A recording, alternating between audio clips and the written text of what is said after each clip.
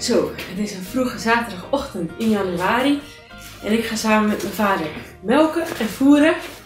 En dan neem ik jullie even mee om wat over mezelf te vertellen.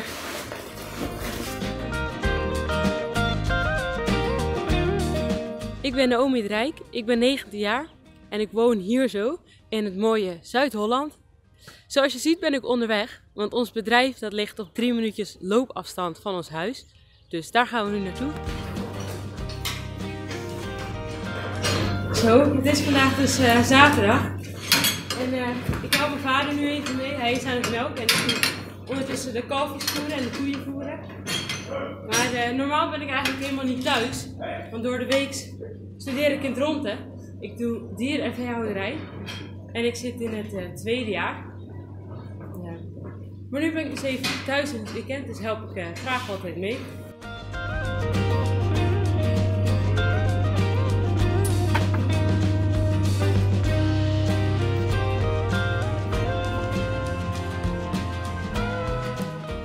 Nou, mijn vader die is ondertussen aan het melken. We melken ongeveer 30 melkkoeien en eigenlijk doen we dat pas sinds vier jaar. Want vier jaar geleden hebben we dit bedrijf gekocht van de familie uh, en zijn we hier zo gaan melken. Mijn vader die heeft eigenlijk altijd loonwerk gedaan en dat doet hij nu nog steeds wel naast het melkveebedrijf voor het inkomen. Want van 30 koeien kan je natuurlijk niet leven. Uh, mijn broer die verwerkt dan onze melk tot zuivelproducten. En dan maakt hij alle vloeibare zuivelproducten van. Dus uh, denk aan vanillevla, karnemelk, uh, chocolademelk, kwark. We maken nog geen kaas. We hopen dat misschien in de toekomst uh, wel te gaan doen. En die zuivel die wordt verkocht onder andere in onze winkel. Hier bij het bedrijf. Die is drie dagen per week geopend. Maar daarnaast hebben we ook andere afzetpunten. Andere boerderijwinkels, maar ook supermarkten. Nou, genoeg gepraat. We gaan weer even de koeien voeren. Aan deze kant op de grubstal.